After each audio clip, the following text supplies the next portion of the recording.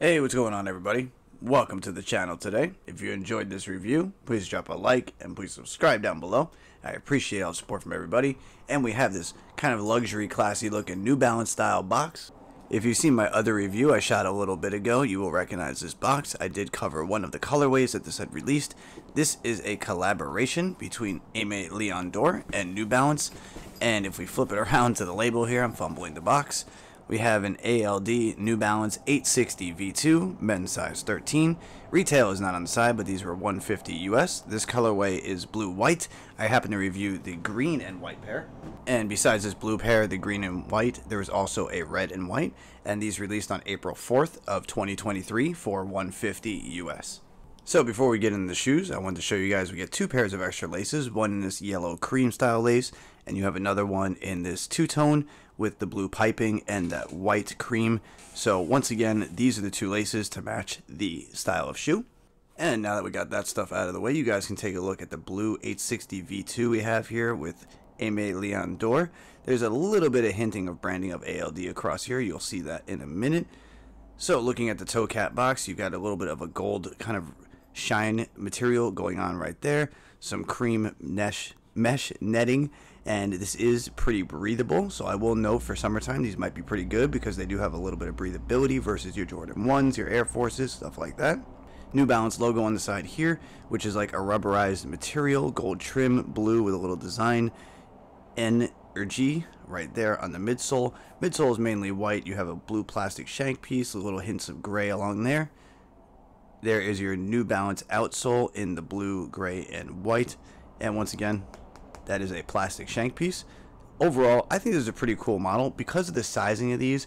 Uh, some people say they run different than my opinion. Some say go up half a size. I'm assuming that's for wide feet. I think they run true to size, so I would recommend staying true to size. If you have really wide feet, maybe go up half a size, but I really think buy your true size and you'll be safe. 860 V2 logo branding right there on the back of the shoe.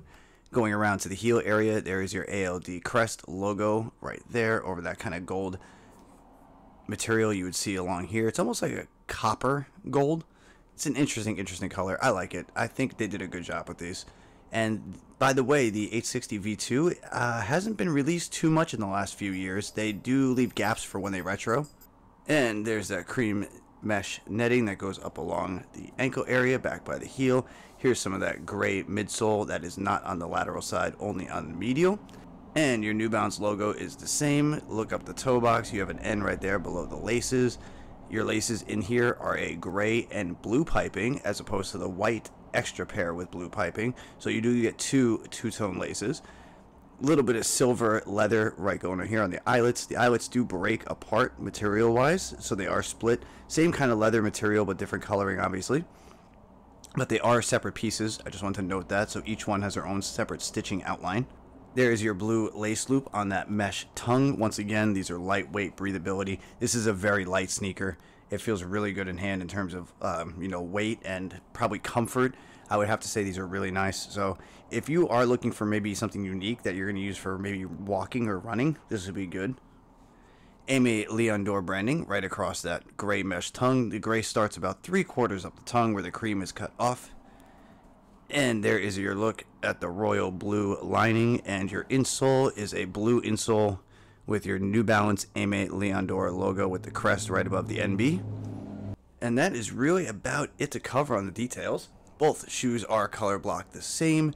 There's no real difference. Your details are still in the same spots as far as the crest logo, the ALD on the tongue, and then inside on the insole is the same New Balance with the Aimé Leon Dore, just so you can confirm, you know, where extra details might be, differences and stuff like that.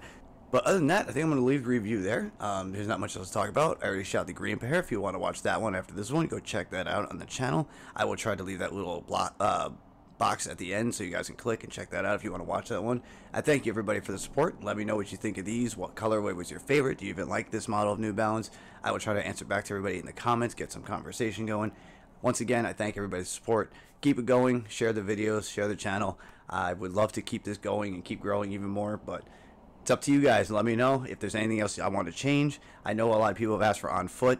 I know I don't do a lot of on foot because mainly I get rid of a lot of stuff I shoot because I have to keep content consistent and it's hard to tell everybody that but it, it's in order it's expensive to keep the channel running and I have to keep it flowing with new content in order to do that I have to let go of a lot of stuff it's unfortunate because me as a sneakerhead I would love to keep a lot of the stuff I shoot other than that I thank you guys for stopping by today I hope to see you on the next video and I hope everybody has a great day alright bye